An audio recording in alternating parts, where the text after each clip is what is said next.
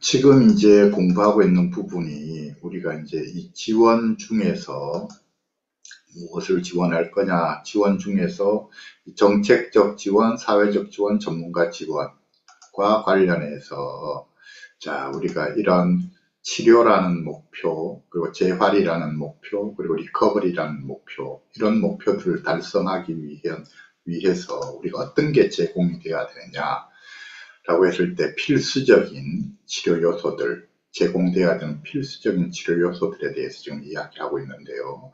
그 중에 하나가 약물 치료 그리고 또 하나가 가족 지원 이게 필수적으로 지원이 되어야 되는 치료 요소입니다. 이야기를 했고 그 다음에 이제 그러고 나서 이 녹색으로 쭉 해놓은 이 부분들이 사실은 우리 전문가들이 제공해 줘야 되는 필수적인 추가 서비스들이에요. 그러니까 우리는 기존에 보면 전문가들이 또는 병원에 가면 약만 주면 되는지 알고 약만 주고 딴건한 개도 안 해주는데 그게 아니라 약 주는 거 이외에 정보 제공을 해줘야 되고 심리 상담을 해줘야 되고 재활 훈련을 해줘야 되고 동료 지원을 해줘야 되고 그리고 기타의 기회를 제공해 줘야 돼요. 에, 그 이야기를 이제 잠깐 드리겠습니다. 자, 정보 제공. 과 관련해서 제가 지금 이제 강의하고 있는 이런 게 정보 제공이죠. 정보 제공은 교육에 의해서 그리고 또 질의응답에 의해서 그리고 교육 자료에 의해서 정보 제공이 되는 거예요. 그러니까 기본적으로 정보 제공은 국가에서부터 정보 제공을 해주려고 하는 노력이 있어야 돼요. 정부가 어, 정보 또는 각종 지자체가 정보 제공을 하려고 하는 노력이 있어야 돼요. 그러면 정부에서는 어디에서 하느냐? 보건복지부에서 내지는 국립정신건강센터를 통해서 해야 되는데 보건복지부라든지 또는 국립정신건강센터 홈페이지에 들어가면 거기에 이 병과 병 관리에 필요한 아주 자세한 정보들이 많이 수록이 되어 있어야 돼요. 그래서 초발 환자 그리고 초발 환자의 가족들부터 시작해서 그 다음에 뭐 한 10년 된 가족 20년 된 가족, 또 10년 된 환자, 20년 된 환자, 누구든지 지금 자기가 필요로 하고 궁금해서 알아보고 싶은 그런 정보들이 있을 때 거기 홈페이지에 들어가면 웬만한 정보들은 다 수록이 돼 있어야 돼요. 그게 원칙이에요. 그러니까 미국의 샘사라든지 미국의 NIMH 같은 곳의 홈페이지를 한번 들어가 보십사. 우리하고 비교해서 얼마나 다른지 우리나라 보건복지부라든지 우리나라 국립정신건강센터 홈페이지하고 비교도 할 수 없는 정도로 잘 돼 있어요. 쌤사가 우리로 따지면 보건복지부 정신 보건복지부 안에 정신건강 정책을 담당하는 부서고 NIMH가 우리로 따지자면 국립정신건강센터거든요. 각각 짧게 설명을 해드리자면 쌤사는 영어로 Substance Abuse and Mental Health Service Administration의 약자가 쌤사예요. Substance Abuse and Mental Health Service Administration. 그러니까 Substance Abuse 해서 SA and Mental Health니까 MH.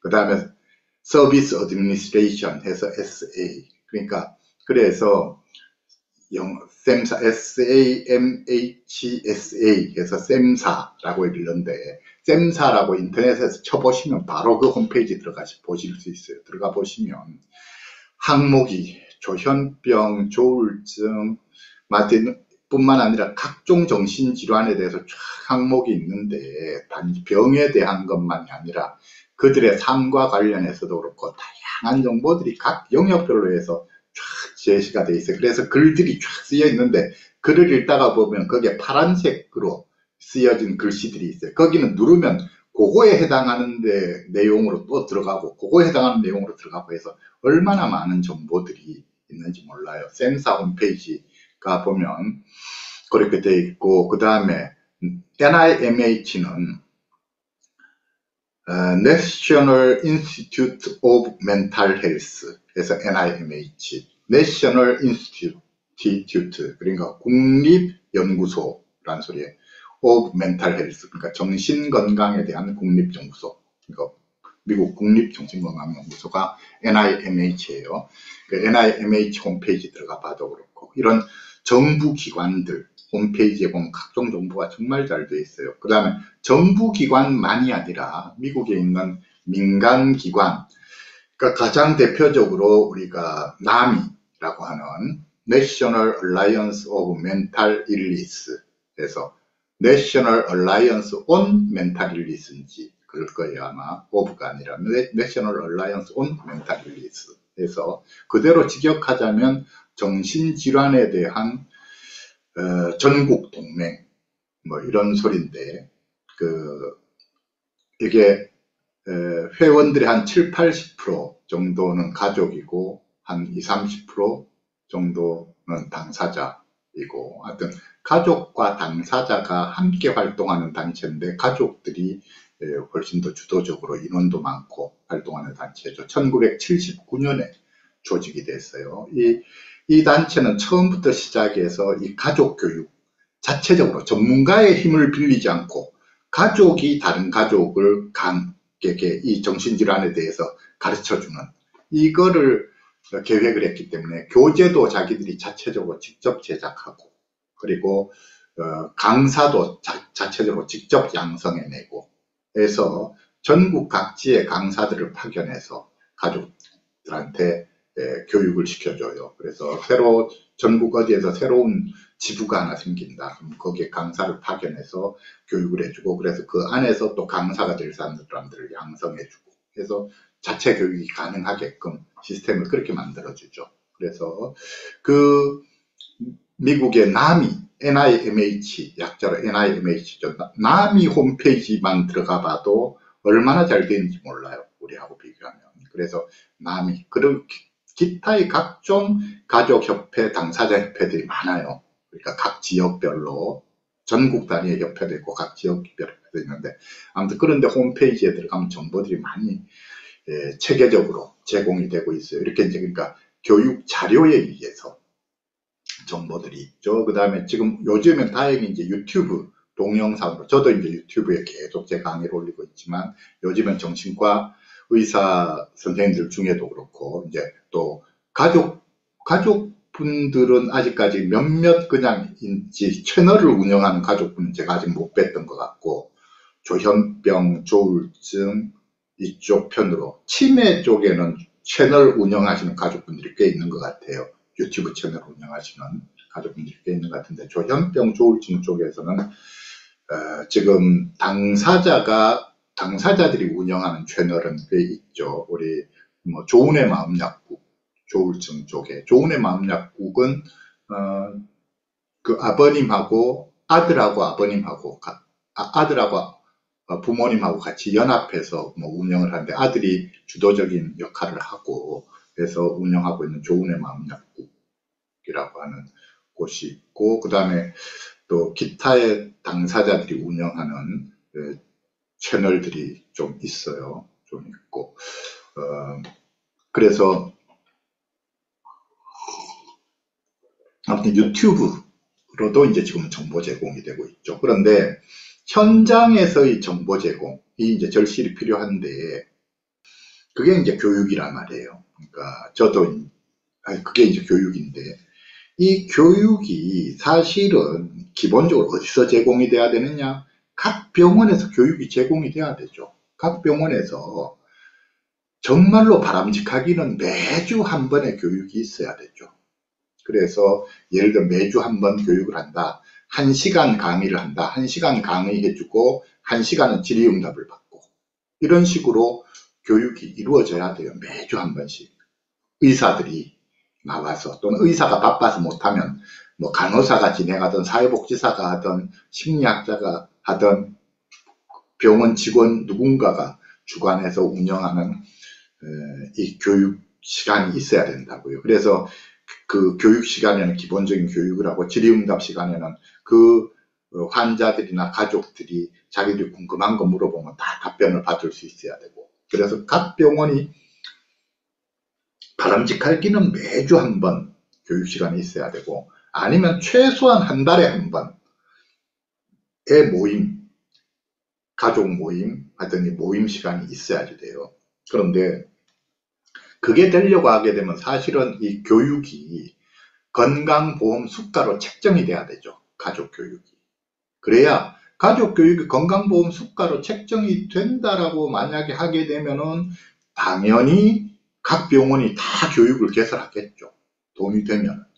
지금은 왜 안 해주느냐? 돈이 안 되니까 안 해주는 거예요. 이건 그냥, 그냥 서비스 해줘야지 되는 거니까. 그러니까 보면 가끔씩 가다가 병원들 중에 정말로 성의 있는 병원들이 예를 들자면 한 달에 한 번, 어, 가족 모임을 한다든지 거기에 그 병원 안에 있는 의사가 직접 강사로 나서기도 하고 다른 병원에서 어, 강사를 다른 데 있는 외부 강사를 초청해서 할 수 있게 돈을 지원해 주기도 하고 그래서 한 달에 한 번 모임을 하는 병원 같으면 엄청 훌륭한 병원이죠. 그 다음에 때때로 이제 매주 교육한다.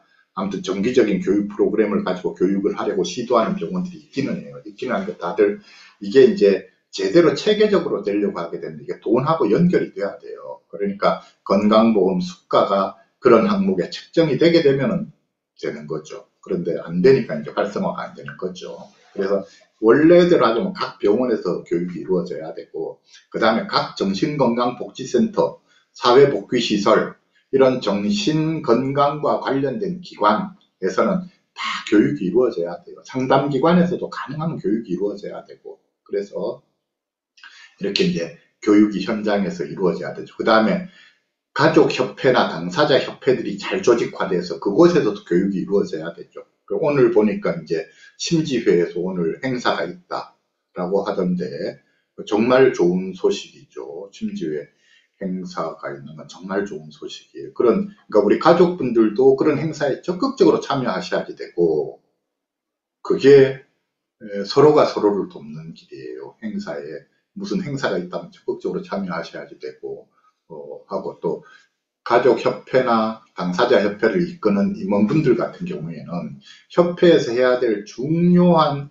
협회 사업 중에 하나가 교육이다를 명심하고 교육을 기본적으로 정, 정기적인 교육이 가능하게끔 교육을 배치를 하셔야지 돼요. 교육 프로그램을 짜셔야지 돼요. 그래서 미국 같은 경우는 앞에서도 이야기했듯이 남이라고 하는 단체가 그 번역하자면 어, 미국 정신질환자 동맹인데 우리가 흔히 뭐 미국 정신장애인 가족협회다, 미국 정신건강 가족협회다 그렇게도 말을 하는 그 단체죠. 그래서 남이는 처음 1979년에 시작될 때부터 교육의 중요성을 생각해서 그 단체 안에 교육국을 만들어서 체계적으로 자료를 만들고 제대로 그러니까 가족들의 손으로 교육 자료를 만들고 가족들 중에 강사를 양성해서 가족들이 스스로가 그 가족들이 다른 가족들을 강의를 해주는 그런 이제 시스템을 만들었죠. 지금 우리나라에서는 그래도 심지회가 그 점에서는 제일 교육에 제값을 대 열심히 있죠. 그래서 정보 제공이 돼야 된다 하는 겁니다. 제가 여기까지 이야기하고 지금 저기에 에,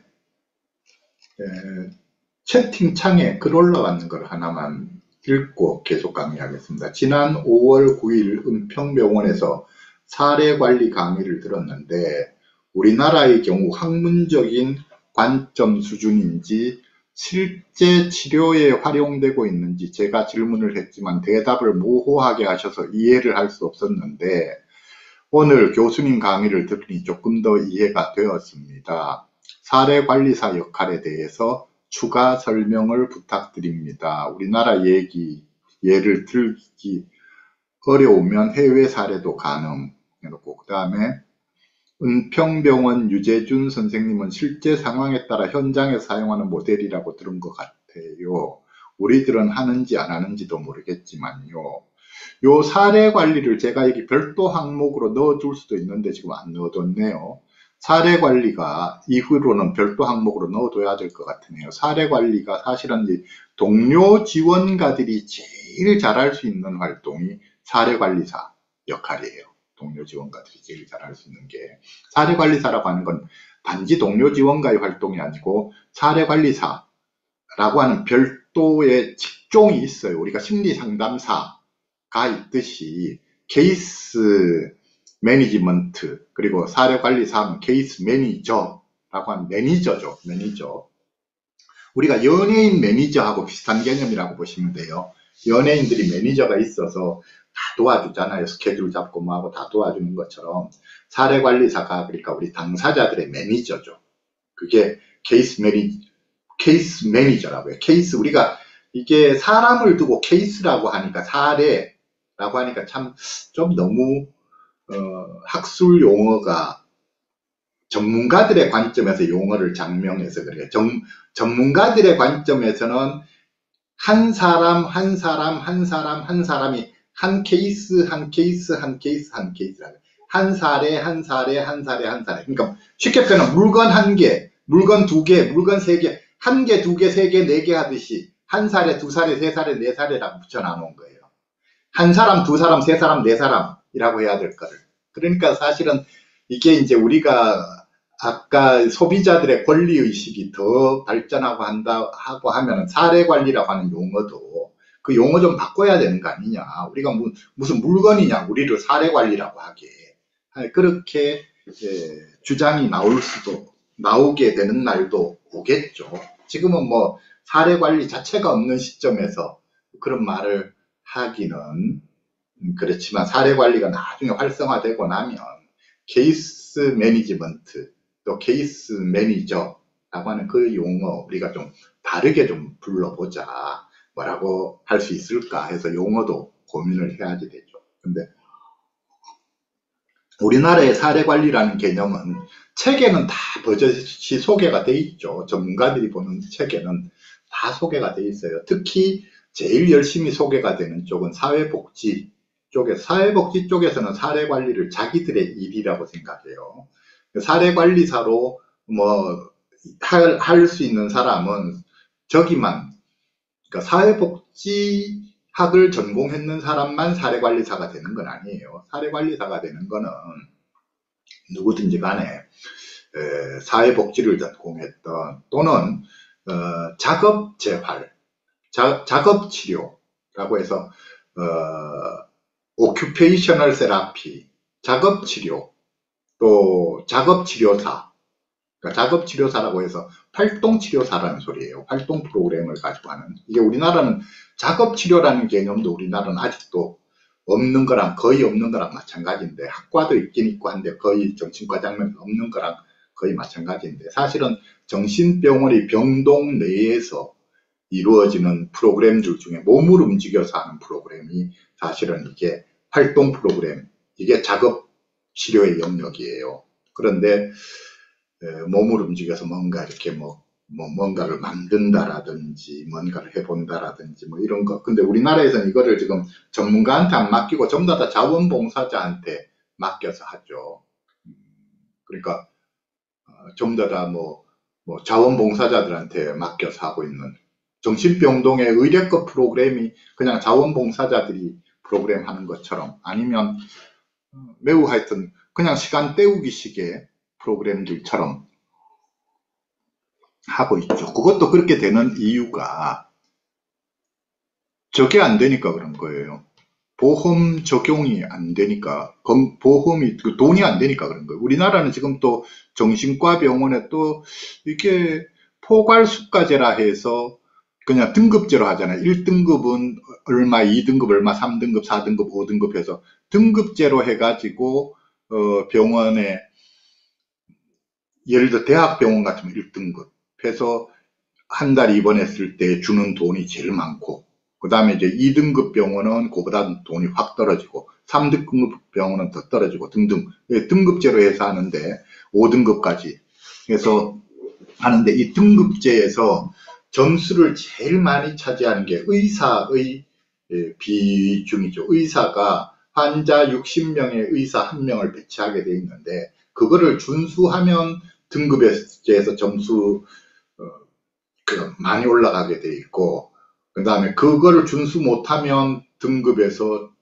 점수가 확 떨어지게 돼 있고 그러니까 병원마다 전부 다 기를 쓰고 애를 쓰는 게 의사를 확보하려고 하면 그 의사 비율이 제일 크고 그 다음에 이제 간호사 를 어느 정도나 충원하고 있느냐 하는 간호사 비중 그러니까 사람만 제대로 채용을 하면은 등급이 확 올라가게 돼 있고 사람 제대로 채용 안 하면 등급이 떨어지게 돼 있고 이렇게 되고 프로그램 같은 건 애초에 뭐 점수에 들어가지도 않고 이렇게 되는 거죠. 그러니까 우리는 앞에도 이야기했던 가족 교육이니 이런 것도 뭐 해줄 필요도 없고 또 병원 안에서 각종 뭐 프로그램도 뭐 이건 전문가가 누가 직원이 하게 되면 이건 인건비 낭비예요.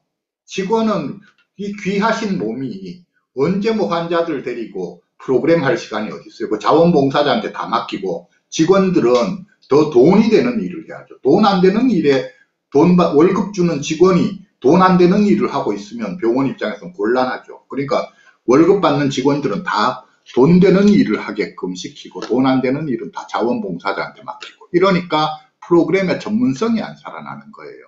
그게 전부 다 그런 전문 병원 안에서 전문적으로 프로그램을 하는 역할을 프로그램을 하는 게 이제 작업 치료사들의 역할인데 우리나라는 전통적으로 작업 치료사를 안 쓰고 사회복지사가 자원봉사자를 데리고 프로그램을 하게끔 그렇게 해왔죠. 그 다음에 우리나라는 병원 안에 있는 사회복지사한테도 전문적인 일을 안 시켜요. 처음부터도 이제 사회복지사를 병원에서 뭐 의무 고용을 하게끔 시켜놔놓으니까 의무적으로 고용은 했는데 사회복지사 고유의 업무를 안 시키고 병원에 온갖 뒤치다거리 온갖 그냥 병원의 잡무를 다 사회복지사들이 처리하게끔 하는 게 우리나라의 관행이에요. 지금 그러다 보니까 사회복지사들도 병원 안에서도 전문성 있게 일을 못하고 병원 밖의 기관은 정신건강복지센터나 사회복지시설 이런 시설들인데 거기에서는 병원 안에보다는 좀 낫지만 그래도 전문성을 발휘하기가 어려운 거죠. 우리는 지금 좀 상당히 그래요. 이게 예, 그게 전부 다 앞에 이야기했던 우리나라의 정신보건 시스템이 딱 두 가지로 되어 있기 때문에 그래요. 약물 치료, 입원 치료 이 두 가지로 되어 있기 때문에 다른 게 전적으로 누락이 되어 있는 시스템이거든요. 어, 예산 배정이 안 되고 그런 시스템이다 보니까 지금 사례관리라고 하는 개념이 자 사례관리라고 하는 개념은 사회복지에 국한된 개념은 아닌데 사회복지사들도 사례관리사가 될 수 있고 작업치료사도 사례관리사가 될 수 있고 또 경우에 따라서는 심리사도 사례관리사가 될 수 있고 간호사 출신도 사례관리사가 될 수 있고 누구든지 간에 환자에 대해서 경험이 많은 사람은 사례관리사가 될 수 있어요. 동료 지원가도 사례관리사가 될 수 있고 가족 지원가, 가족 출신도 사례관리사가 될 수 있고 누구든지 간에 사례관리사가 되어 있는데 사례관리라고 하는 건 어떤 거냐 아까도 이야기했듯이 매니저 역할을 하는 거예요. 그 매니저 역할을 하려고 하면 제일 좋기는 1대1로 매니저 되주면 제일 좋죠. 그런데 1대1 매니저가 되려면 인건 워낙 돈이 인건비가 어, 인건비 관계, 예산 관계 때문에 1대1이 어려울 거잖아요. 그러면 몇 명까지 가능할 거냐? 가능하면 이제 정부 입장이라든지 자, 정부에서 예를 들어 정신건강복지센터의 직원을 사례관리사를 배치해 놓고 사례관리를 하게 한다. 그러면 한 명이 정부 입장에서는 가능하면 많은 사람을 사례관리를 해주면 좋긴 좋겠죠. 그런데 지나치게 많아지면 전문성이 없어진다고요. 말만 사례관리지 실제로는 사례관리가 아닌 게 돼버려요. 우리나라가 지금 그렇다는 거예요. 우리나라가 정신병원에는 애초에 사례관리라고 하는 사례관리라는 사람인 게 배치가 안 돼 있어요. 애초에 배치할 필요도 없고 법적 의무도 없고 아무것도 없어요. 정신병원에는 법적 의무로서 하는 것이 누구누구냐? 의사, 법적 의무 있죠. 60인에 한 명. 그 다음에 간호사, 뭐, 열 몇 명에 한 명에서 간호사 돼 있고, 그 다음에 사회복지사 의무 고용하게 돼 있고, 그 다음에 정신건강 전문 요원 이라고 해서 사회복지사, 간호사, 또 사회복지사, 어, 사회복지사, 간호사, 그 다음에 임상심리사 자격을 가진 사람 중에 1년 추가적으로 1년 내지 3년을 추가적으로 수련받으면 주는 자격증이 정신건강 전문요원이라는 자격증이에요. 그러니까 의사 다음으로는 정신과 의사 다음으로는 제일 이 분야에서 수, 수준이 높은 자격증이 정신건강 전문요원인데 정신건강 전문요원도 병원에 의무 고용을 하게끔 돼 있어요. 일정 인원이 되면. 그러니까 이제 그래서 의무 고용하게 돼 있는 거는 이제 의사, 간호사, 사회복지사, 정신건강 전문요원. 요거 의무 고용을 하게 돼 있는데 딴 거는 이제 의무 고용에 그게 없단 말이에요. 없다가 보니까 어, 병원 쪽에는 애초에 사례관리소는 배치가 안 되죠. 어, 그런데 저기에는 이제 정신건강복지센터에는 의무 고용이 이제 에, 이게 법적으로 이제 지침이라든지 사례관리, 사례관리라고 하는 사례관리사를 배치해라는 건 없지만 사례관리라고 하는 항목이 있어요. 그러니까 직원들 중에 예를 들어 사회복지사면 사회복지사 어, 직원들 중에 누군가한테 사례관리 업무를 맡겨요. 그래서 정, 통계에 잡혀요. 그러니까 그 각 정신건강복지센터에서는 사례관리를 어느 정도 했느냐 통계에 잡히는데 이게 사례관리를 어느 정도 하느냐 하면 한 명이 한 달에 사례 관리를 300명 이상을 사례 관리를 하는 걸로 이렇게 된단 말이에요. 그리고 이제 정부의 일이 그렇지만 우리나라 정부는 무조건 양을 많이 하는 하면 잘한다 하거든요. 사례 관리도 한 사람이 300명 하면은 200명 하는 것보다는 300명 하면 잘했다고 300명 보다는 400명 하면 잘했다 해요. 그러니까 각 정신건강복지센터들이 자기들이 점수도 잘 받아야 되고 등등 실적을 올려야 되니까 사례 관리 많이 하기 경쟁을 한단 말이에요. 그러다가 보면 사례 관리라고 하는 걸 뭐를 사례 관리로 인정을 하느냐 자 사람과 사람이 만나서 뭔가를 하는 것도 사례 관리로 하지만 전화 한 통만 돌려서 한 달에 전화 한, 한 통화 지금 1분간 짧게 전화 한 통화 했다. 그럼 사례 관리를 했다라고 기록을 하는 거예요. 서류상에. 그게 사례 관리 한 건이 되는 거예요. 그렇게 되니까 이게 사례 관리가 아, 정신건강복지센터에서 하는 사례 관리는 한 달에 전화 한 통 돌려서 요즘 잘 지내세요? 요새 센터에 왜 안 나오세요? 라고 묻고 전화를 끊으면 그게 사례 관리를 한 건 한 거예요. 실적이 그렇게 잡혀요. 그렇게 되니까 분명히 서류상의 사례 관리를 막 300건 했다, 400건 했다 이렇게 됐죠. 한 센터에서.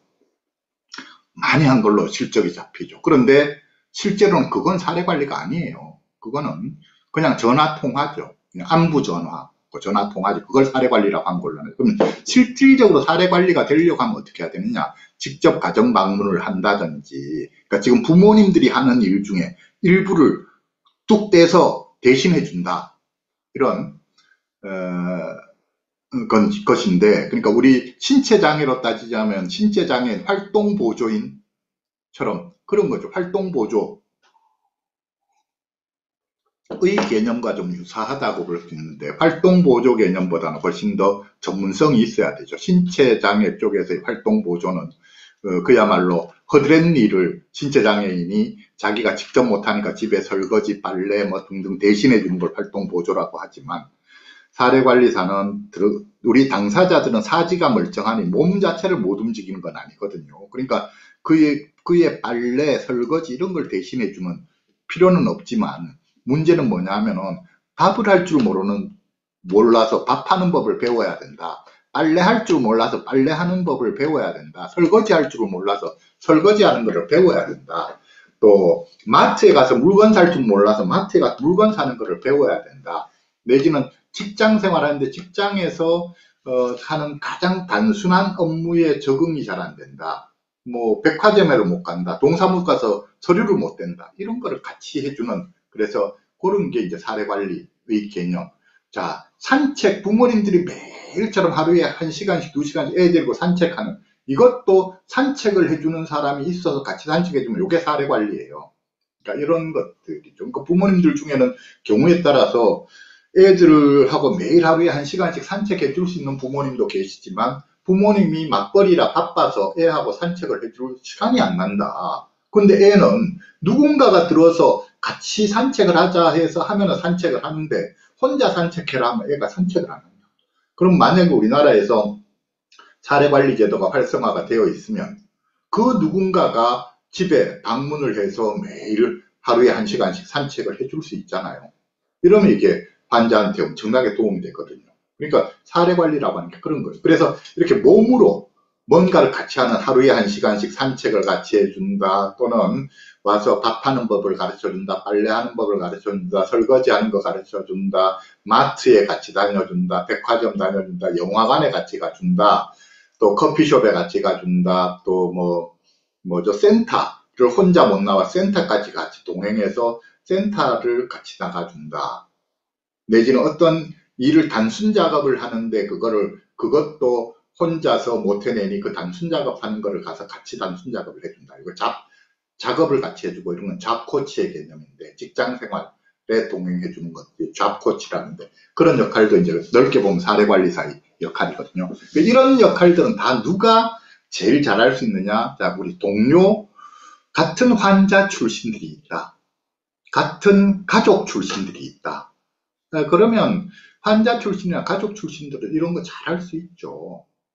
조금만 배우면 잘할 수 있죠. 그래서 우리 동료 지원가들이 잘할 수 있는 역할이, 가족 지원가들이 잘할 수 있는 역할이, 자, 교육 강사의 역할, 정보 제공을 하는, 해주는 교육 강사의 역할도 잘할 수 있고, 심리 상담을 하는 심리 상담사 역할도 잘할 수 있고, 재활 훈련하는, 특별한 능력을 키워주는 재활 훈련하는 역할도 잘할 수 있고, 때로는 어떤 기회를 만들어주는 일도 잘할 수 있지만, 그 책 보고 공부하는 전문가만이 아니라, 우리 직접 경험을 통해서 스스로가 터득한 직접 경험으로 어, 무장이 된 이 우리 동료 지원가나 가족 지원가들이 정보 제공, 심리 상담, 재활 훈련, 기회 제공 이런 일도 잘할 수 있지만 사례 관리 특히 더더욱이 잘할 수 있다는 거예요. 이거 그냥 전문가들이라고 생전 환자를 한 번도 만나본 적도 없는 전문가들, 그냥 실습 조금 했는 전문가들은 처음에 현장에 배치되면 환자들하고 만나면 뭘 어떻게 해야 될지 몰라서 헤매요. 환자들이 망상적인 이야기, 환청과 관련된 이야기, 이런 막 증상들과 증상을 막 내보이고 하면 뭐 어떻게 해야 될지 몰라가지고 책 보고 공부한 전문가들은 처음에 초보 때에는 절절매요. 근데 우리 동료 지원가나 가족 지원가들은 경험이 있으니까 척척하잖아요. 척척 대응을 해낸다고요. 그래서 아무튼 이 정보 제공, 심리 상담, 재활 훈련, 기회 제공, 기회를 만들어 이 모든 일에 우리 동료 지원가나 가족 지원가들이 역량 발휘를 할 수 있지만 특히나 역량 발휘를 가장 잘할 수 있는 분야가 사례관리사 역할이다. 그러니까 우리나라의 사례관리라고 하는 것이 한 달에 전화 한 통 돌리는 걸 사례관리라고 인정해주는 그 항목의 개념부터 바꿔야 돼. 그 사례관리가 아니다라고 바꿔야 돼. 그건 그냥 전화통화, 항목을 이렇게 잡아야 돼. 전화 통화.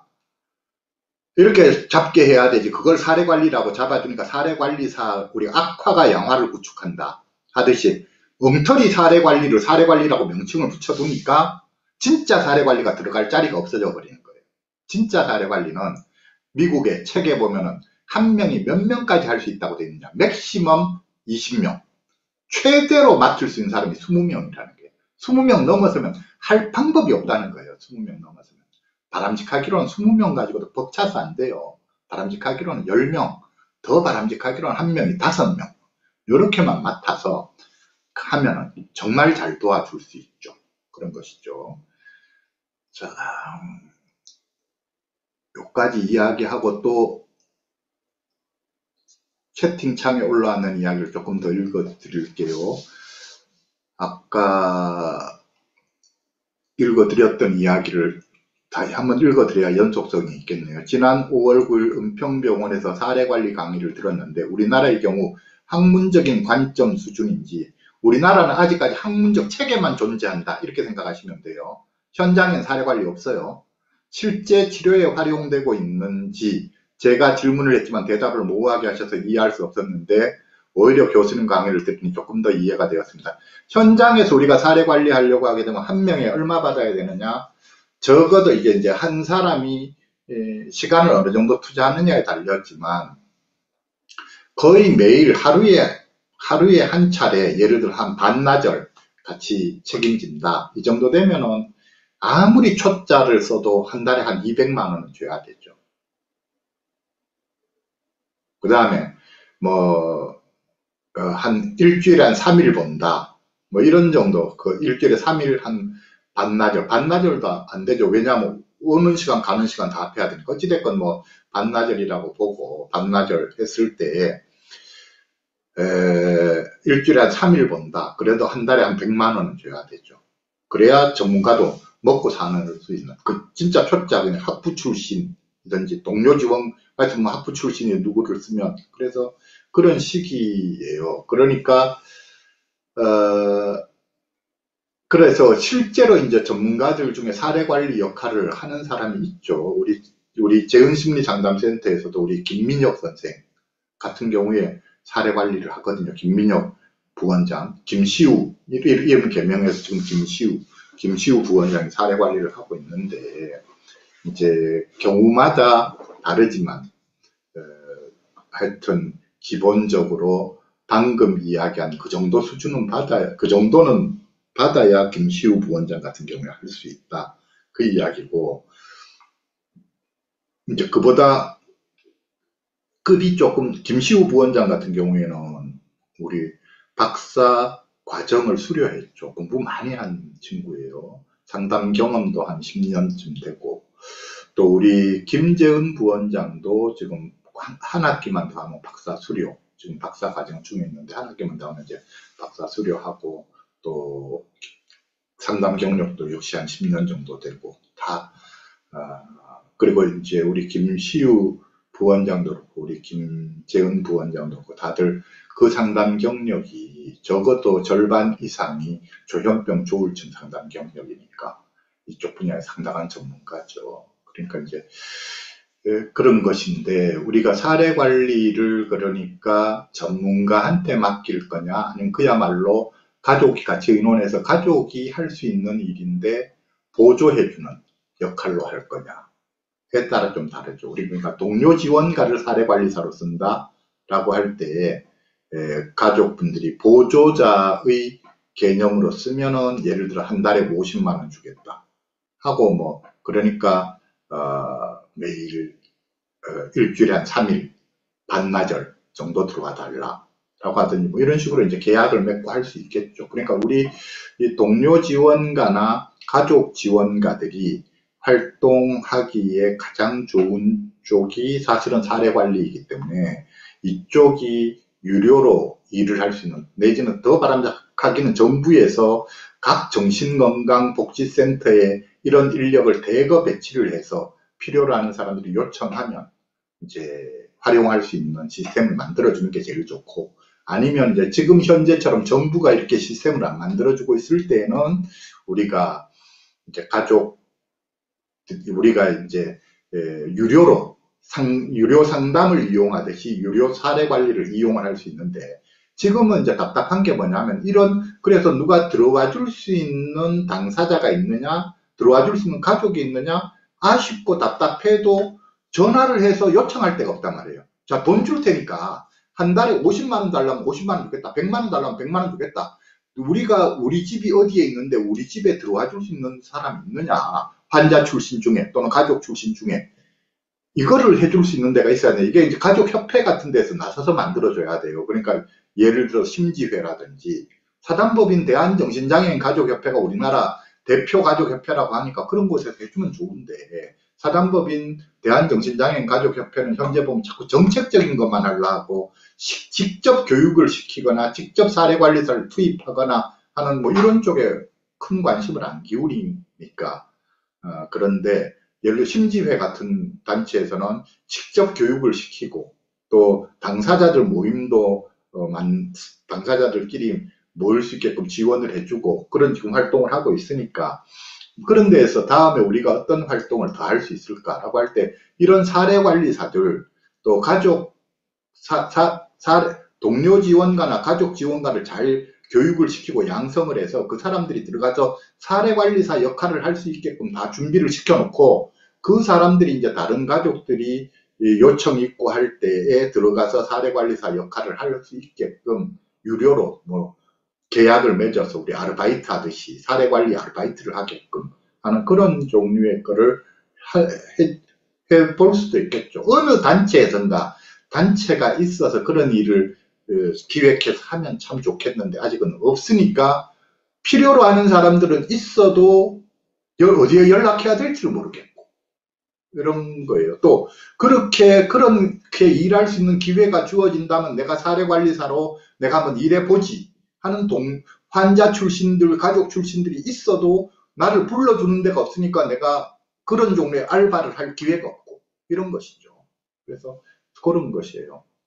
자 그래서 어, 그래서 우리는 지금 아직까지 사례관리사가 책에만 존재하고 있습니다. 어, 그리고 정부에서 통계를 잡고 있지만 정신건강복지센터에서 하는 거로 통계 잡고 있지만 그건 사례관리가 아닙니다. 엉터리 사례관리를 사례관리라고 이름 붙여놓고 전화통화 한 통 하는 걸 사례관리했다라고 하니까 진짜 사례관리가 자리 잡을 길이 없어진 겁니다. 이렇게 된 거죠. 그러니까 진짜 사례관리는 어, 그런 지금의 가족들이 하는 역할 또는 매니저, 연예인 매니저들이 하는 역할 그런 걸 해주는 게 그게 사례관리입니다. 이야기죠. 그 다음에 이제 그랬던 분이 은평병원 유재준 선생님은 실제 상황에 따라 현장에 사용하는 모델이라고 들은 것 같아요. 우리들은 하는지 안 하는지도 모르겠지만요. 또 다른 분은 저희는 그날 은평병원 6층 강당에서의 강의는 그냥 그림의 떡 같은 느낌이었습니다. case management는 또 다른 분이 올려주신 거예요. case management는 일반 환자들에게도 적용되고 있습니다. 미국에서는 활발하게 입원 전부터 지역사회에서의 관리까지 전인적으로 그리고 통합적으로 적용되는 것으로 알고 있습니다. 초창기에는 case manager를 누가 하느냐, 누가 적절한가 라는 문제로 밥그릇 싸움이 격렬하였다고 들었습니다. 지금 교수님께서 말씀하신 것처럼 누구나 전체적인 것, 의학, 심리, 지원체계, 재정적인 문제까지 등등을 전체적인 것을 잘 아는 사람이 하는 것으로 한 환자의 모든 사항을 전체적으로 모두 관리해주는 아주 바람직한 방법으로 알고 있습니다. 예, 이 말씀이 맞는 방법이에요. 그러니까 다양한 지식이 있어야지 되겠죠. 그래서 그가 또 이런 저 case manager가 한 사람이 내가 모든 걸 다 알 수 없으니까 내가 모르는 거는 이 사람한테 필요한 건 나도 또 배우기도 하고 나도 어디 질 물어도 보고 자문을 다른 자문 사람 자문을 받아가면서 하는 거죠. 그러니까 지금 우리 가족분들 우리 주로 보면 어머님들이 애를 책임지고 막 산책도 다니고 그 다음에 어디 센터도 데리고 다니려고 하고 약도 안 먹으려니까 약도 먹이려고 하고 등등 하나부터 열까지 어머님들이 다 노력하고 계시고 주로 또 때때로는 일부의 아버님들이 노력하고 계시고 때로는 부부가 합심해서 이 역할이 이게 사실은 이 역할 중에 상당 부분이 사례관리사가 있다면 사례관리사한테 맡겨줄 수 있는 역할이에요. 그리고 그렇게 하면 가족분들도 가족분들의 삶을 살 수 있으니까 편하고 이렇게 그래서 이거를 지금 우리는 그러니까 이게 이제 우리나라에서 사례관리라는 개념이 도입이 안 되고 있는 큰 이유 중에 하나가 가족들이 그 역할을 해주기 때문에 그런 거거든요. 우리 문화권의 차이인데 우리는 가족이 하나부터 열까지 자식을 위해서 다 해줘야 된다. 그걸 너무 당연하게 생각하는 문화라는 거예요. 자식이 나이가 20살이든 30살이든 40살이든 50살이든 간에 가족이 다 뒷받침해 줘야 된다. 생각을 하고 있는 거죠. 어, 그런데 미국이나 이런 데에서는 어, 유럽이나 서양 사람들은 나이 20살 넘으면 그때부터는 성인인데 그 가족이 뒷받침해 줘야 되느냐 하나부터 열까지 가족이 다 해줘야 되느냐 지가 스스로 못하는 게 있으면 그때는 국가가 책임져 줘야지 개념이 이렇게 간다는 거예요. 그러니까 어, 그 사람들은 가족들 중에서 뒷바라지를 해주는 가족도 있지만 가족들이 내가 왜 저 애를 하나부터 열까지 다 내가 뒷바라지를 해줘야 되지? 하고 항의를 한단 말이에요. 정부에 대해서, 지자체에 대해서. 그러니까 정부나 지자체가 부모 대신에 역할할 수 있는 사람을 양성을 해서 역할을 하게 투입을 해주는 거예요. 그게 사례관리사라고 하는 거예요. 우리식으로 보자면. 그래서 이게 우리나라도 그랬잖아요. 우리나라도 과거에는 치매, 치매 노인네를 당연히 치매가 생기던 노인네는 당연히 자식이 부양하는 거를 원칙으로 했었는데 이제 워낙 이제 힘들어지고 아우성이 터지니까 치매 노인네를 돌보는 문제로 형제간에 싸움이 일어나고 가정 파탄이 나고 부인이 가출을 하고 뭐 등등 뭐 이렇게 사니까 이제 정부가 들어서 이제 노인 복지 정책을 강화하면서 지금은 이제 치매 요양원도 많이 만들고 그다음에 치매 어르신들을 위한 유치원도 많이 만들고 어르신 유치원도 많이 만들고 해가지고 지금은 가족들이 치매 노인네가 집에 있어도 가족들이 많이 수월하단 말이에요. 이제 요양원에 모셔야 되면 요양원에 모시고 요양병원에 모셔야 되면 요양병원 요양원이면 요양원 아니면 집에 있으면서 뭐또 그거 유치원에 보내야 되면 치매 노인, 노인네 유치원에 보내고 아니면 가정 방문도 이제 자주 들어와 주고 이렇게 이제 되는 거죠. 활동 보조인도 어, 대, 배치가 되고 등등 하니까 이제 훨씬 치매 노인네를 치매 노인인 어르신을 모 자식들이 모시기가 수월해졌죠. 이제 자식 들의 부모에 대한 자식의 부담을 덜어주는 것처럼 원리는 똑같아요. 자식에 대한 부모의 부담을 덜어줘야 되거든요. 왜 이걸 부모님한테 가족들한테 독박을 씌우느냐 이거죠. 우리나라 정부는 가족들한테 독박을 씌우고 있거든요. 근데 어, 가족분들도 이게 내가 하는 게 당연하다라고 생각하고 가족분들이 그냥 하고 있거든요. 사실은 정부에다가 이거 왜 이거 내가 해야 되느냐. 정부가 이거 좀 해주면 안 되느냐라고 정부가 자꾸 하게 해야 되죠. 나이 스무 살이 넘었는데 왜 자꾸 가족한테 부담을 지우느냐. 정부가 책임져야 될 일 아니냐. 이렇게 나가야 된다는 거예요. 사실은 이 조현병 조울증의 삶과 관련된 문제에서 병 관리와 관련된 문제에서 그렇다라고 하는 것이죠. 그게 이제 이 부분이 이렇죠. 그러니까 이게 답답한 현실이 뭐냐면 자 우리가 정신과 의사들이 들어서 하고 있는 게 약물 치료하고 입원 치료밖에 하고 있는 게 없다고 해주는 게 그런데 문제는 우리가 처음부터 끝까지 다 한다라고 말뚝은 다 박아놓은 거예요. 정신과 의사들이. 자, 우리가 자, 우리가 심리 상담도 우리가 하고 뭐도 우리가 하고 뭐 모조리 전부 다 말뚝은 다 박아놨어요. 그리고 우리가 다 해줄 테니까 이거 2번비 항목별로 하지 말고 포괄수까지로 하자. 뭉뚱그려서 1등급, 2등급, 3등급, 4등급, 5등급 해서 의사 많이 쓰는 병원이 좋은 병원이니까 의사를 많이 쓰는 병원은 1등급이라 해서 돈 많이 주고 건강보험에서 지출을 건강보험비를 비싸게 1인당으로 비싸게 책정해서 왕창 비싸게 주고 의사 적게 채용하는 병원은 저는 서비스를 제대로 안 해주는 병원이라 해서 건강보험을 조금만 주자. 이렇게 의사 수에 따라서 1등급, 2등급, 3등급, 4등급, 5등급으로 딱 나눠놨다고요. 그리고 의사 수만 많으면 이 모든 일은 다 저절로 잘 된다. 걱정할 거 없다. 의사 수가 적어서 안 해주는 거니까 문제가 된다. 요런 논리로 딱 해서 처음부터 끝까지 우리가 다 한다고 말뚝을 다 박아놨어요. 다른 분야는 접근 금지라고 심지어 병원에서 하는 심리 상담도 의사만이 할 수 있다. 심리학자 심리 상담하는 거 안 돼. 말뚝은 다 박아놨대. 말뚝 싹 박아놓고 하고 있는 거는 약물 치료와 입원 치료밖에 안 하고 있다. 이 이야기예요. 그리고 실제로 약물 치료도 수입이 많이 되지만 진짜 수입이 많이 되니까 입원 치료에서 수입이 많이 된다. 그렇게 해놨는데 여기에 제가 지금 입원 치료 필수 치료 요소로 안 적어놨잖아요. 입원은 필수 치료 요소가 아니에요. 입원은 입원 치료는 있으면 편리한 점은 있지만 없어도 관계없다. 병은 없다고 입원시킬 병실 없다고 치료 못하는 거 아니다. 이탈리아가 그랬잖아요. 이탈리아는 지금 전국에 있는 정신병원 싹 없앴거든요. 입원실 정신병을 이유로 정신질환을 이유로 병원에 입원시키는 거 불법이다. 싹 정신과 병동을 싹 없앤 거예요. 그 입원비로 나가야 될 돈을 다 이쪽으로 돌린 거예요. 제가 녹색으로 칠해둔 이 부분으로 싹 다 다 돌린 거예요. 그래서 그렇게 된 거예요. 그러니까 입원비로 쓰이는 돈을 이쪽으로 돌렸더니 입원비로 쓰이는 돈의 3분의 1 가지고 입원비의 효과를 충분히 내더라. 예산이 3분의 1 지역사회 예산 지역사회 쪽으로 예산을 돌리면 입원비의 3분의 1 가지고 그 같은 효과가 난다 하는 거예요. 그 입원 지금의 입원비만큼을 지역사회로 돌려버리면 어마어마하게 잘하겠죠. 지역사회에서. 자, 그 다음에 또 하나는 인력, 인력이 이쪽 분야는 의사만이 일하는 분야가 아니에요. 의사가 많이 필요한 게 아니라 진짜 몸으로 때울 수 있는 사람, 동료 지원가, 가족 지원가가 이쪽에서 유급 인력으로 많이 일을 해야지 돼요. 몸으로 때우는 사람이 많아야 된다. 진짜 박사학위 소지자는 소수 있으면 되고 그 밑에 석사학위 소지자가 좀 더 많으면 되고 학부 출신 있으면 되고 고졸 출신 있으면 되고 학벌에 관계없이 일하는 사람들이 수두룩하게 있어야 된다. 그 이야기죠.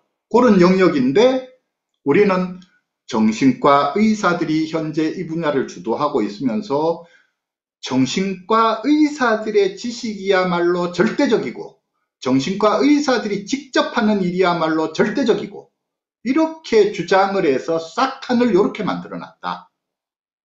그런 거예요.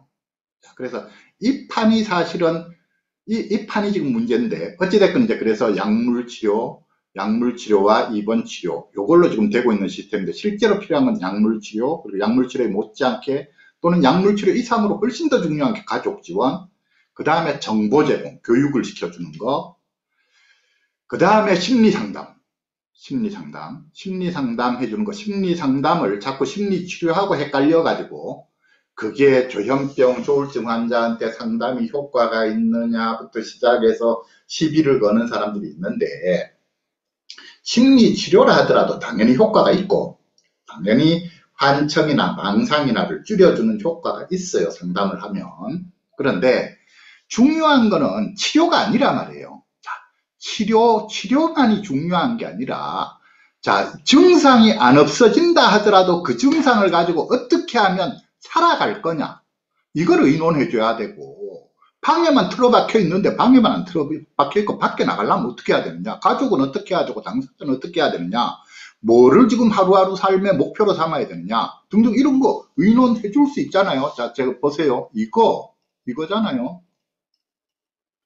당사자가 해야 되는 일이 이 네 가지 과업이라고요 꾸준한 약물 복용이 필요하고 스트레스 관리, 증상 관리, 위기 관리가 필요하고 선순환적 생활 습관이 필요하고 확고한 삶의 목표가 필요하다. 병과 관련된 병 관리를 해야 되는 게 있고 삶을 잘 살아가야 되는 게 있으니까 이거를 잘할 수 있게끔 의논해 주는 게 심리 상담이라는 거예요.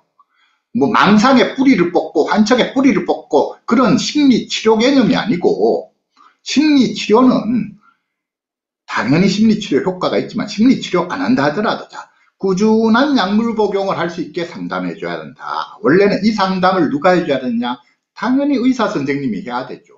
의사 선생님이 약 복용 꾸준히 잘할 수 있게 상담해 주려면 5분 진료, 10분 진료 가지고는 택도 없어요. 택도 없어요. 적어도 최소한 한 명 두고 30분은 진료해야 그나마 딴 거는 손도 못 대고 약 복용만 가지고 의논해 주는데도 한 번에 30분은 걸린다는 거예요.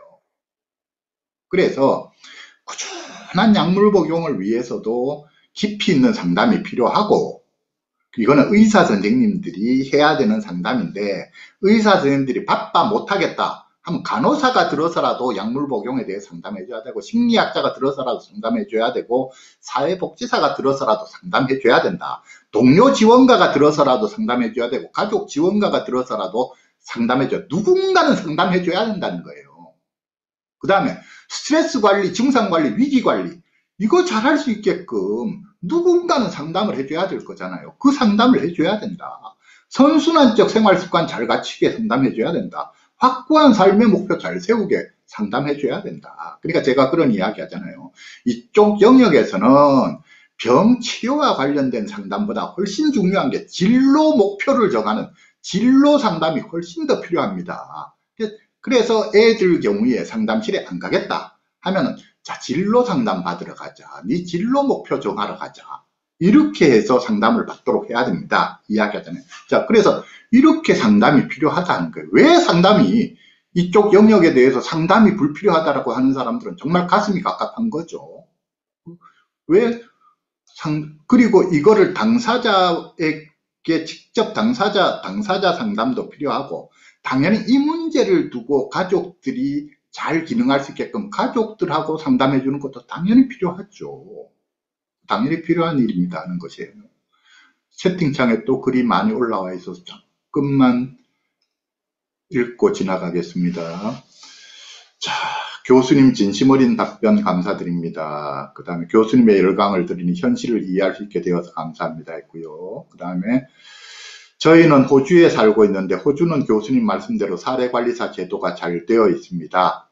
case manager는 전체적인 관리를 그리고 화살표는 세부적인 일상생활 중 직접적인 도움은 carer care가 care라는 용어를 우리나라에서 간호라고 번역했는데 이것도 조금 보살핌이라는 뜻이죠. 그러니까 직접적인 도움은 care, carer라고 해서 case manager 밑에 carer가 또 있네요. carer가 1대1로 담당해서 도와주는 시스템을 정부가 모두 지원을 하지요. 저희 아이도 퇴원 후 case manager가 정해져서 자, 각 사람들마다 case manager가 정해져야 된다는 거예요. 주치의가 있듯이 자기 주치의가 있듯이 자기를 상담해주는 주 상담자도 있어야 되고 주 사례 관리사도 있어야 되고 있어야 됩니다. 주치의만 있다고 되는 게 아닙니다. 이야기예요. 자, 그래서 저희 아이도 퇴원 후 case manager가 정해져서 조증 시기에 벌여놓았던 과도한 지출로 인한 카드 빚, 경제적 어려움, 법적 등의 세분화된 필요한 것들을 그 분야의 전문가와 연결되어 도움을 받고 있습니다. 그래서 case manager가 해주는 또 매우 중요한 일이 활동을, 활동 계획을 잡고 활동을 같이 해주는 것 뿐만 아니라 전문적인 도움이 필요하면 그 필요한 도움을 연결시켜주는 기능을 해요. 변호사가 필요하면 변호사, 자, 변호사는 필요한데 지금 돈이 없다. 그럼 돈이 없는 상태에서 연결할 수 있는 변호사를 찾아서 연결시켜 주는 거. 그 다음에 뭐, 뭐가 이러이런 지식이 필요한데 그쪽 지식이 없어서 절절맨다. 그 전문가한테 자문 받을 수 있는 기회를 만들어 주는 거 등등 이런 모든 또 지금 다녀야 될 어떤 음, 뭐 센터 뭐 이런 기술을 배우고 싶은데 이 기술을 어디서 배울 수 있을지 모르겠다. 무료로 내지는 저렴하게 배울 수 있는 데를 좀 어, 알면 좋겠다. 그럼 그런 데를 찾아서 연결해 주는 거. 또는 뭐 심지어는 그래 컴퓨터를 배우고 싶다, 영어를 배우고 싶다 등등 과외 선생 연결해 주는 거 이런 것까지 전부 다 이 case manager가 하는 일이거든요. 자, 그런 것이죠. 그러니까 그래서 뭐 아까부터도 누누이 이야기하지만 지금 부모님들이 하시는 역할의 상당 부분을 사실은 케이스 매니저들이 하는 거예요. 근데 케이스 매니저들이 하는 거 훨씬 더 수월하죠. 부모님들은 이쪽 분야에 대해 배운 바도 없고 이쪽 분야가 어떻게 돌아가는지도 모르겠고 어떤 기관이 있는지도 모르겠고 뭐가 든지도 모르겠는데 그래서 어떤 도움이 필요한지도 잘 모르겠고 지금 뭘 연결시켜줘야 될지도 잘 모르겠는데 부모님이 그거 공부해 가면서 그런 사람이 어디에 있는지 찾아가면서 해서 다 처리를 하려니 얼마나 고생스러워요. 근데 이쪽 분야에 대한 기본적인 정보를 가지고 있고 뭘 어떻게 나가야 되는지를 기본적으로 알고 있는 사람들이 사례 관리를 맡으면 부모님들이 처음에 버벅거리고 하는 것보다 훨씬 수월하게 해나가겠죠. 그렇습니다. 이야기. 자, 그래서 심리 상담이라고 하는 거는 단지 병 치료, 심리 상담이 심리 치료를 의미하는 게 아닙니다. 이야기예요. 심리 치료 안 해도 돼요. 심리 치료는 안 해도 되는데, 되는데 더 중요한 게 심리 상담이 중요합니다. 는 거예요. 그래서 그가 자신의 병을 잘 관리할 수 있게 상담해 주는 것. 병이 치료 안 된다 하더라도 잘 관리, 같은 증상을 잘 관리할 수 있게끔 상담해 주는 것. 그 다음에 그가 증상에도 불구하고 자신의 삶을 잘 살아갈 수 있게끔 상담해 주는 것. 이게 필요합니다는 이야기예요. 자, 그래서 심리 상담이라고 하는 건 그런 것이고, 자, 심리 상담도 책으로만 배운 심리 상담자도 필요하지만 동료 지원가들도 심리 상담자의 역할을 할 수 있고, 가족 지원가들도 심리상담사의 역할을 할 수 있죠. 있어요. 자, 그래서 그런 것이고, 그 다음 재활훈련. 재활훈련이라 해서 아까 제가 기술 재활훈련이라고 하는 거는 제가 아까 새의 두 날개에 비유했잖아요. 일할 수 있는 능력 키워줘야 되고, 사람들을 사귀는 능력, 사람들과 원만히 지내는 능력을 키워줘야 되는데, 이 능력 키워주는 역할을 하는 게 재활훈련이다 하는 거예요. 자기가 그래서 우리가 이 능력은 학원에 가서 배울 수도 있고 등등등등 하지만 기존 학원에 가면은 진도가 너무 빠르다고요. 컴퓨터 하나를 배우러 가는데도 진도가 너무 빠르고 사람들이 너무 많아서 불편하고 등등. 그러면 컴퓨터를 가르쳐 주는 거를 하는데 학원이 아닌 정신건강복지센터에서 컴퓨터 강좌를 열어줄 수 있겠죠. 내지는 그것도 안 된다. 1대1로 컴퓨터 가르쳐 줄 수 있겠죠. 그것도 안 된다. 센터에 가서 못 배운다. 그러면 가정 방문을 해서 컴퓨터 가르쳐 줄 수 있겠죠. 이런 게 다 재활훈련이에요. 그 다음에 대인관계가 안 된다. 대인관계 하는 요령을 하나하나 가르쳐 줄 수 있겠죠. 강의를 해주기도 하고 가르쳐주고 반복 연습을 시키고 우리가 교육이라는 것과 훈련이라는 건 개념이 어떻게 다르냐면 교육은 이렇게 쭉 설명해 주는 게 이게 교육이에요. 정보를 제공해 주는 것. 이게 교육이고 훈련은 반복 연습을 시키는 것. 이게 훈련이. 그래서 반복 연습을 시켜서 몸에 딱 장착시켜주는 것. 서로 대화법을 몸에 장착시켜주는 것. 반복 훈련을 통해서 컴퓨터 자판 치는 걸, 컴퓨터 치는 걸 익숙하게 만들어주는 것. 이런 게 다 훈련이에요. 그 이런 훈련을 시켜주는 기관들이 있으면 이게 작은 계단이 되어주죠. 지금은 우리가 보면 중간 계단이 없다고요. 태어나고 나면 사회까지는 이만큼인데 이 중간 계단이 없는 이걸 전부 다 부모가 만들어줘야 되고 자기가 스스로 개척해야 되잖아요. 이 중간 계단들이 있으면 얼마나 수월하겠어요. 그래서 이 재활훈련 기관이 많아야 되죠. 우리가 사실은 정신건강복지센터가 있고 사회복귀시설이 있는데 사회복귀시설이라고 하는 곳이 원래는 재활훈련을 시키라고 만들어준 법적 기관인데 우리나라에서 그 사회복귀시설에 대한 지원이 너무나 열악하다 보니 사회복귀시설이 재활훈련을 시켜줄 여력이 없어요. 환자들 그냥 맡아서 그러다 보니까 우리나라는 지금 어떤 문제가 있냐면 납병원과 정신건강복지센터와 사회복귀시설이 이게 원래는 다 기능이 다 달라요.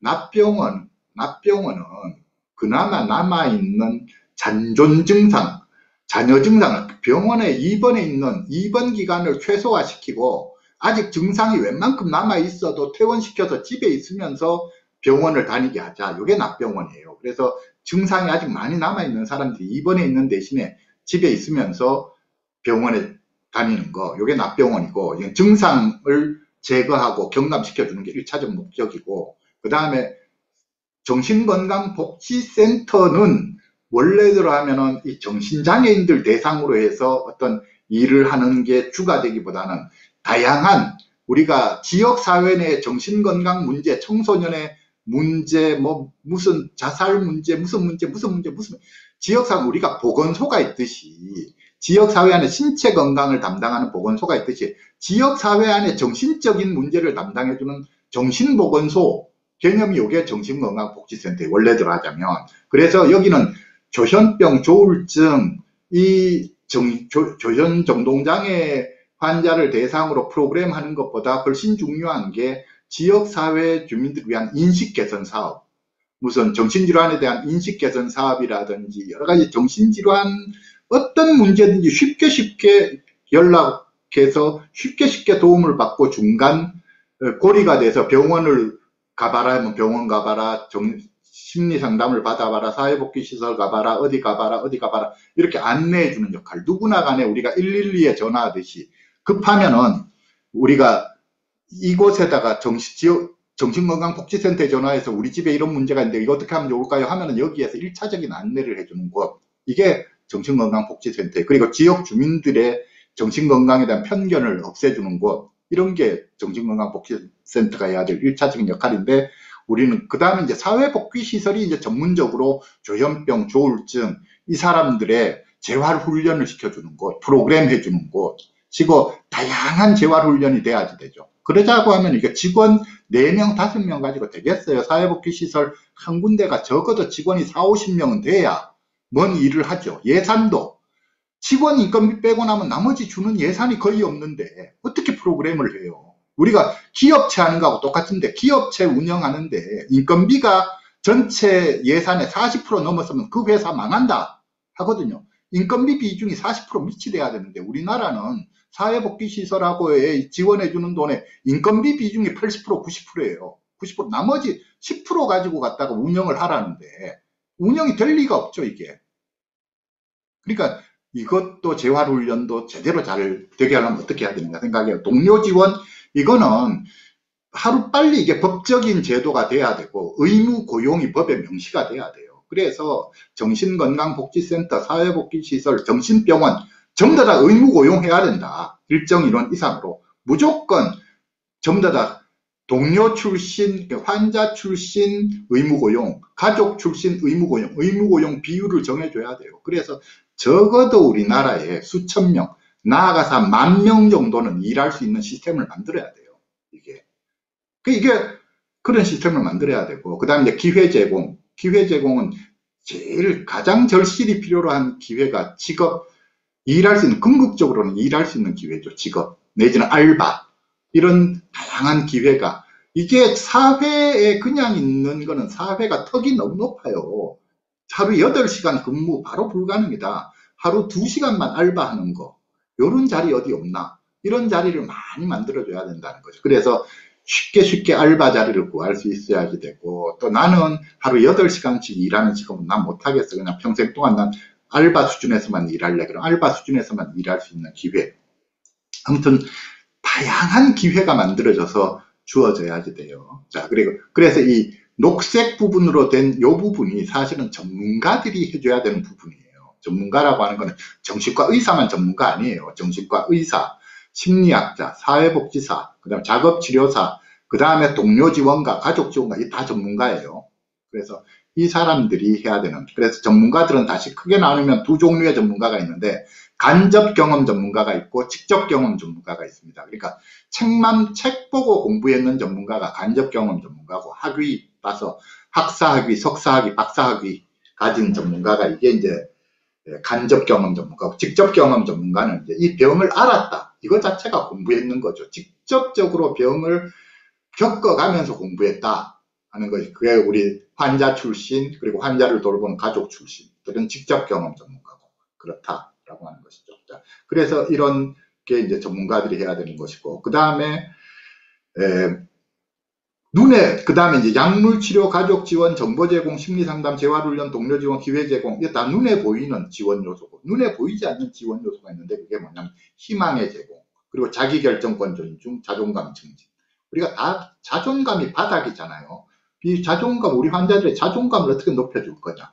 우리 다들 절망 상태에 빠져서 그러고 있는데 이 희망을 어떻게 제공해 줄 거냐. 어떻게 자기 결정권을 존중해. 이게 눈에 보이지 않는 요소지만 매우 중요한 요소다. 제공이 돼야 된다는 것이죠. 그런데 그래서 이렇게 눈에 보이는 요소와 눈에 보이지 않는 요소가 이렇게 다 제공이 된다 하더라도 또한 우리가 절대 잊지 말아야 될 것이 당사자 노력이 가장 중앙에 있다. 이게 핵심이다.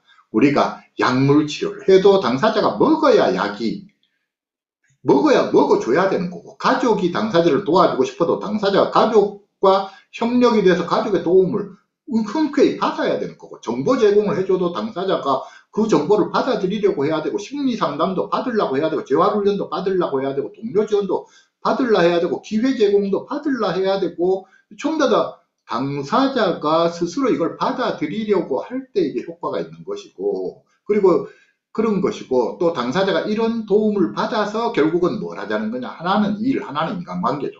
일 사회 속에서 내가 하고 싶은 일 하면서 살아가자. 이 일이 돈 버는 일이면 더 좋고 돈 못 번다 하더라도 취미 수준에서 하더라도 보람 있는 뭔가 내가 눈 뜨면 내가 할 수 있는 보람 있는 일이 있으면 좋겠다. 그 일하고 그 다음에 주변 사람들하고 사이좋게 인간관계 맺고 살아가는 거. 이렇게 이제 되자는 것이죠. 그렇게 돼야 되는 것이고요. 자, 그랬을 때 이제 이런, 이런 필수 치료 요소 10가지를 제가 설명을 드렸는데, 우리나라 입장에서 지금 사실은 도입이 가장 절실한 서비스 두 가지만 이야기를 하는 제가 볼 때 첫 번째는 방문 진료예요. 지금 2번 치료가 필요한 게 아니라 2번 치료에 들어가는 그 예산이 방문 진료 쪽으로 돌아서면 어마어마한 일이 일어날 거예요. 방문 진료가 실제로 필요합니다. 그 다음에 그러니까 급하면 전화만 한 통 하면 득달같이 쫓아 들어와 주면 우리가 경찰서에 파출소에 전화만 한 통 112 전화만 하면 득달같이 집으로 경찰들이 오는 것처럼 이 정신보건소죠. 정신건강복지센터 죠. 어딘가에 전화만 한 통 하면 득달같이 팀이 한 팀이 두 명이든 세 명이든 네 명이든 한 팀이 쫓아 들어와 주는 것 쫓아 들어와서 집에서 서로 면담하고 그 다음에 필요하면 약 처방해주고 필요하면 뭐 해주고 등등 그러고 가는 그게 이 방문 진료가 되면은 방문 진료 그 다음에 또 하나가 취업 지원 취업 될 수 있게 뒷바라지 해주는 것. 이 취업과 관련해서 제가 이야기하는 게 정신건강 영역 안에서 이들이 유료로 일할 수 있는 월급 받고 일할 수 있는 자리가 마련돼야 된다. 라고 하는 것이죠. 그게 우리 동료 지원과 제도고 가족 지원과 제도예요. 그래서 이 두 가지가 제가 볼 때는 가장 절실한 지성이 아닐까. 자, 이거를 우리가 생각을 바꿔야 돼요. 전문가들이 해줄 거다. 전문가들 안 해줘요. 전문가들은 언제 돼야 움직이느냐? 자기 자리가 없어질 위기가 되면 자기가 굶어 죽을 판이 되면 움직여요. 전문가들은 항상 1차적으로 자신의 이득을 위해서 움직여요. 자기의 수입을 극대화하는 쪽으로 움직인다고. 내가 어떻게 하면 월급 더 많이 받겠느냐. 내가 어떻게 하면 내, 내 영역을 더 많이 확보하겠느냐. 그래서 전문가들한테 맡겨놔놓으면 내 저거들끼리 싸우느라고 난리예요. 정신과 의사하고 지금 우리나라는 정신과 의사하고 사회복지사가 계속 싸워가지고 정신건강복지법이 정신과 의사들이 들어서 한번 뜯어 고쳐 놔놓으면 몇 년 물밑 작업해서 사회복지사들이 다시 뒤집고 그럼 또 정신과 의사들이 또 몇 년 물밑 작업해서 또 뒤집고 이러느라고 지금 한 10차례 가까이 정신건강복지법이 지난 한 불과 한 30년 도 안 된 2, 30년, 한 25년, 1995년에 통과되고 97년에 시행에 들어갔으니까 2, 30년 동안 엎치락뒤치락 했는 게 진짜로 어떻게 하면 치료를 더 잘할까? 진짜로 어떻게 하면 뭐 할까? 아니, 정신과 의사들의 권익을 확대하는 쪽과 사회복지사 권익을 확대하는 쪽과 양쪽의 싸움이 지난 2, 30년간 일어났다고 보면 돼요. 가족들은 뭐 했느냐? 정신과 의사들 주장에 박수치는 가족들이 있고 사회복지사 주장에 박수치는 가족들 박수치는 역할을 하고 있었어요. 우리나라는. 이게 진짜로 가족들이 들어서 내가 필요로 하는 거 해내라. 이거 못했어요. 가족들이 멱살 잡고 의사들 멱살 잡고 가족들 공무원들 멱살 잡고 국회의원 멱살 잡고 내가 필요로 한 거 해내라 하는 거 해내라 했으면 판이 바뀌었겠죠. 그게 이거라고요. 멱살 잡고 나서야 되니까 방문진료, 취업지원 이거 멱살 잡고 이 게 트여야 아니 취업이 돼야 뭐 무슨 희망이 생기죠. 방문이 급할 때는 병원에만 데리고 와라라고 하는데 얼마나 답답한 시스템이에요. 가족들 입장에서 최고는 전화 한 통하면 내가 애를 데리고 병원에 가는 게 아니고 전화 한 통만 하면 병원에서 나한테 듣다게 쫓아오는 시스템이 제일 좋은 시스템이에요.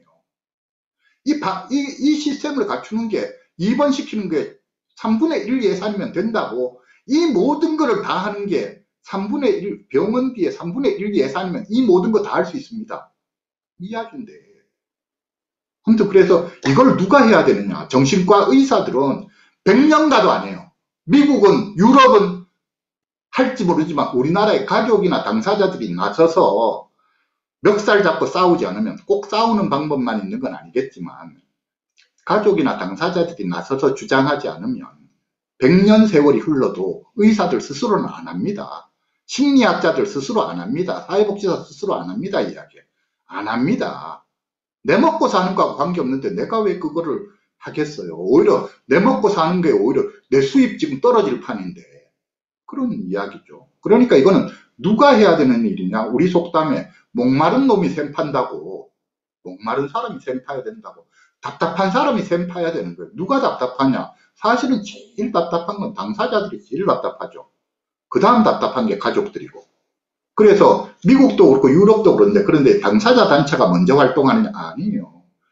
가족 단체가 먼저 나서서 활동을 해서 가족 단체가 기본 판을 만들어 놓으면 거기에서 이제 회복된 당사자들이 많이 나오면서 그 다음에 당사자 협회가 활성화가 돼요. 항상 순서가 그래요. 그래서 지금 우리나라에서는 아직도 가족협회와 당사자협회는 아직도 거의 없는 거나 마찬가지 수준이에요. 옛날보다는 훨씬 낫지만 지금 이거를 있다라고 말할 수가 없어요. 있다라고 말할 수가 없어요. 그러니까 일본만 하더라도 뭐 제가 알고 있는 게 정확한지 모르지만 옛날에 제가 공부했던 거로 가족들이 만들어 운영하는 공동작업장이 일본 전역에 2,000개 소가 넘는다 라고 제가 알고 있었는데 옛날 공부했던 책에서 그렇게 보고 공부했는데 가족들이 직접 나서서 하고 하는 일들 그랬는데 아무튼 우리가 지금 보면 가족협회와 지금 서울의 심지회 같은 가족 단체가 있어 정말 다행인데 전국 방방곳곳에 이 가족협회 그리고 당사자협회가 활성화가 돼야 돼요. 1차적으로 가족협회가 활성화가 돼야 돼요. 그랬을 때 가족협회가 딱 활성화가 되면 가족협회에서 뭘 해야 되느냐 우리가 뭘 요구해야 될 거냐 우리한테 필요로 하는 게 뭐냐는 걸 빨리 정립을 해야 돼요. 우리가 정부의 공무원들 만나면 국회의원 만나면 누구 만나면 항상 말하는 1순위, 2순위, 3순위 이거 해내라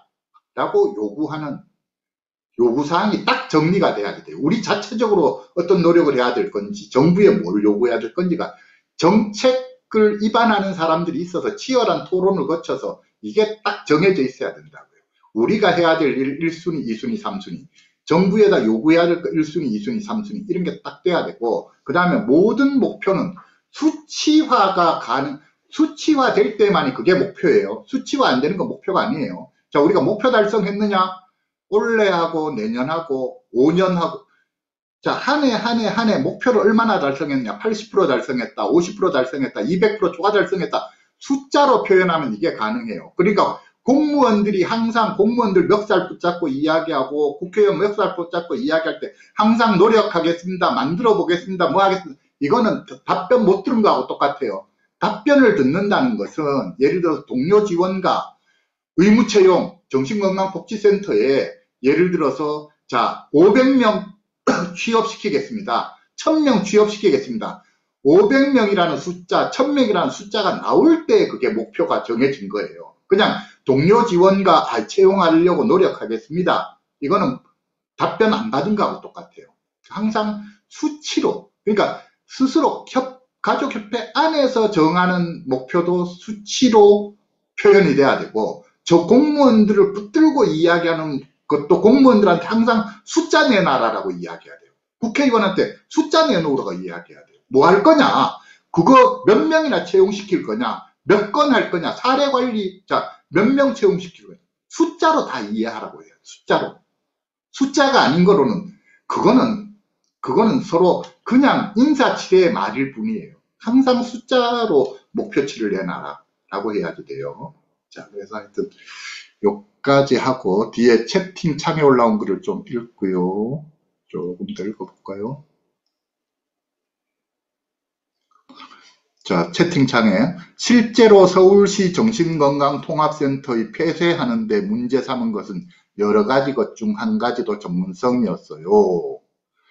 아, 이거 정말 참 가슴 답답한 일이죠. 서울시 정신건강통합센터 엄청나게 일 잘하고 있었고 잘하고 있었는데 폐쇄시켜 버렸는데 사회복지사 정신과 간호사 출신이 센터장이었거든요. 정신과 의사가 가장 심하게 반대했지요. 의사들은 무조건 장은 자기들이 해야 된다는 생각이 있어요. 그래서 딴 데에서 장하면 무조건 없, 차라리 없애버린다. 그 다음에 사회복지사도 만만치 않아요.